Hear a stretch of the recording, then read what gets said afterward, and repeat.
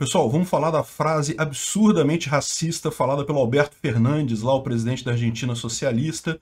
Essa notícia foi sugerida pelo Ivan Gadoso e pelo impressora do Ciro Gomes. Obrigado ao pessoal que sugeriu a notícia. Obrigado a você que está assistindo aqui o nosso vídeo. Se você gosta do nosso conteúdo, por favor, deixe o seu like e se inscreva aqui no canal, né?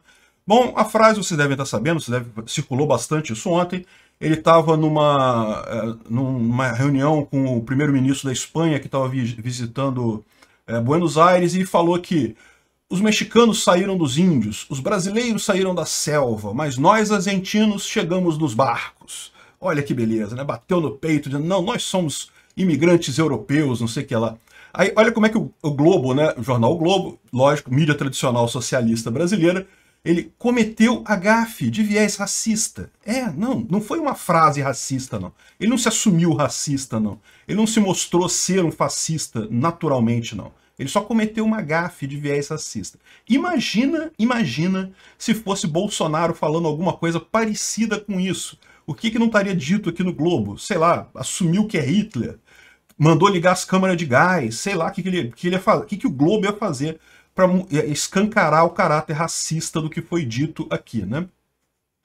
Mas aquele negócio, como é de esquerda, eles tentam terem passar passando pano pro cara. Não, foi leve, não sei o que lá. Aí tentaram explicar porque ele estaria citando um prêmio Nobel de literatura, o diplomata mexicano Otávio Paz, que disse que os mexicanos são descendentes dos astecas, os peruanos dos incas e os argentinos dos barcos. Mas repara que essa frase original sequer fala dos brasileiros. E, de certa forma, não fala índios, fala astecas, incas e, e barcos, né? Ou seja, é, é, não tem um caráter tão racista, embora seja também meio racista, tá? Porque, você sabe, tem um monte de mexicano que não é descendente de asteca. Tem um monte de peruano que não é descendente de incas. Assim como tem um monte de argentino que também não é, é, é imigrante europeu, né? É, no final das contas, não, não, teve nada a ver. E o brasileiro nem entrou na conta aqui. O que entrou, como é que os brasileiros entraram nessa história? É porque, na verdade, tem uma música de um, de um cantor argentino chamado Lito Nebbia, que eu confesso que eu não conheço, mas deve ser alguém conhecido lá, que justamente pegou essa, essa frase do diplomata mexicano, que é uma frase que pelo menos tem algum grau de dignidade aqui, embora também seja racista, e, e botou os brasileiros no meio. Os brasileiros saem da selva, os mexicanos dos índios, e nós argentinos chegamos nos barcos, né? E olha, vou te falar um negócio.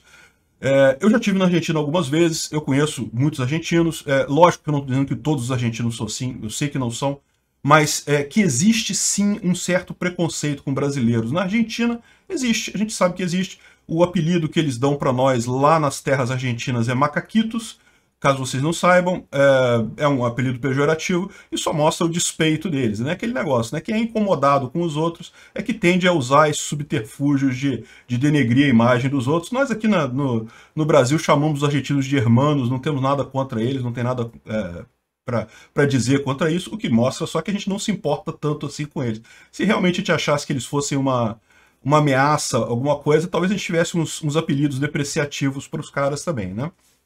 Agora, tem várias formas de você ver esse tipo de coisa, né? É, essa, essa coisa do pessoal também. Aqui no Brasil você encontra muito isso também, né? Esse tipo de racista que bate no peito e fala, não, eu sou descendente de, de alemão e coisa e tal. Olha, falar que é descendente de alguém lá na, na Europa não é errado, né? É, é, é constatação de um fato. Muitos de nós temos algumas, alguma ascendência europeia, portuguesa, espanhola, de qualquer lugar do mundo, né?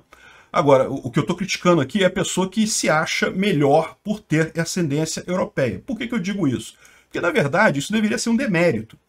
É, eu tenho um tio meu que faz é, árvore genealógica. Ele é pesquisador nessa área de história, é, ele, ele é, é bem conhecido na área, tem livros escritos e coisa e tal. E ele fez a nossa família, lógico, e fez de várias outras famílias. O pessoal contrata ele para fazer esse tipo de coisa. Ele já tem conhecimento, tem, ele tem contato com um monte de gente num monte de lugar na Europa. Então, para fazer esse tipo de levantamento de quem chegou em que navio, qual família que chegou, como é que foi, quem é pai de quem, não sei o que lá.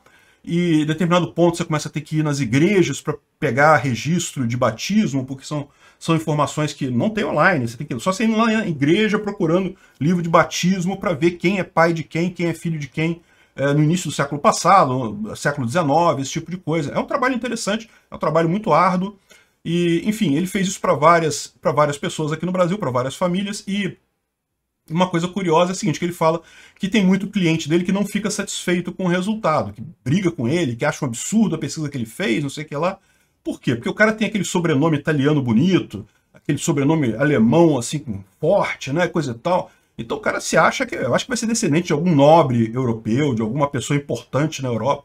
Meu amigo, olha só, o pessoal que vinha da Europa aqui para a América do Sul no, no, no, século passado, nos séculos passados aí, o pessoal que migrava não era pessoal nobre, não, não vou enganar você não. Quem vinha aqui para o Brasil e para a Argentina também, diga-se de passagem, era fugitivo, criminoso fugitivo da Europa, muita gente, e o, a, ralé da ralé, o pessoal mais pobre, mendigo, população de rua, pessoal que estava passando fome na Europa que vinha para cá. Você acha que o pessoal mais ou menos de vida ou nobre ia pegar um barco, atravessar três meses do Oceano Atlântico muita chance de, de morrer, né? Porque é, era uma viagem que naquela época realmente muita gente morria na viagem. Vai pegar um barco na Europa, atravessar três meses para chegar aqui no Brasil com muita chance de morrer, para ir para um país que não sabe nada do país, não tem nenhuma informação, não tem nada, não sabe como é que vai chegar ali, o que, que vai ser da vida ali. E você acha que gente rica vinha para cá desse jeito, que pessoal bem de vida? Meu amigo, o que só vinha para cá era criminoso e pessoal da é, pobre, muito pobre, que não tinha expressão nenhuma, que era é, é, filho bastardo, que era não sei o que lá, que era rejeitado, que era população de rua. É tudo isso. Então o pessoal que bate no peito aí para dizer que é europeu, que não sei o que lá, que eu tenho meu sobrenome europeu, então eu sou descendente de europeu, para com isso, meu amigo. Isso aí é demérito, não é mérito. No final das contas, não importa de onde a pessoa veio, o que importa é como a família da pessoa fez as coisas. Se você chegou aqui no Brasil, você era um, um, um é, um miserável na Europa, ou até um criminoso, a família de um criminoso da Europa que fugiu para o Brasil, que de passagem é o caso da minha família, é, chegou aqui no Brasil, o importante é mostrar que, poxa, que a família melhorou depois. Poxa, a gente hoje em dia é uma família de pessoas honestas e coisa e tal, trabalhadoras. Chegamos longe na vida, tem, tem um monte de gente por aqui, coisa e tal. E, é, e, outra coisa curiosa também é que, na verdade, aqui no Brasil não existe esse negócio de sangue puro. É muito raro, é extremamente raro. Todo mundo tem alguma mistura, não tem jeito, isso daí é, é constatação pura e simples. E na Argentina também, pode ter certeza. Então, ou seja, a frase que o, que o seu Alberto Fernandes falou pode não ter chocado muito ele, porque, como eu disse, isso lá na Argentina não é tão incomum assim, não. O pessoal lá é meio preconceituoso contra nós brasileiros mesmo, muito mesmo por despeito, porque eles se sentem ameaçados pelo Brasil. Por isso, essa, essa agressividade, chamar a gente de macaco, dizer que a gente vem da selva, né? como se a gente fosse muito melhores que a gente. Se a gente é macaco, a gente é um macaco que foi muito mais longe do que eles que estão lá com inflação de 40% e um presidente socialista que só faz besteira, né? Então, no final das contas, é isso daí. E para piorar, né? Depois ele pediu desculpa, né? Mas ele pediu uma desculpa meio, meio assim. Ah, eu não quis ofender ninguém, de todas as formas, quem se sentiu ofendido ou invisibilizado, desde já minhas desculpas. Porque, lembra, lá na Argentina também tem muita gente que é índio, né? Que, que é descendente de índios. Não, não, não, tem só europeu na Argentina. Então, ele não foi preconceituoso só contra nós brasileiros, contra os mexicanos. Ele foi muito preconceituoso também contra o próprio povo argentino, que tem uma grande quantidade de descendentes de índios e coisa e tal. E, é, e certamente lá tem muita mestiçagem também. Todo mundo. É só ver a cara do. Ó, a cara do, do nazi pardo aqui, do, do imigrante europeu. Ó. Vai dizer que não tem, não tem sangue indígena ali. Ah, pô, para, cara. O cara é mó cara de Chaves, pô. É isso aí, meu amigo. Não tem essa, não. O importante não é de onde você vê. Aliás, isso é uma coisa que eu digo. Por que, que, as, por que, que a esquerda é tão racista? Porque racismo, ao contrário do que a esquerda vende, né, que é uma coisa de disputa de poder, então, se os negros foram oprimidos no início, então agora os negros têm que separar dos brancos para brigar contra os brancos e não sei o que lá.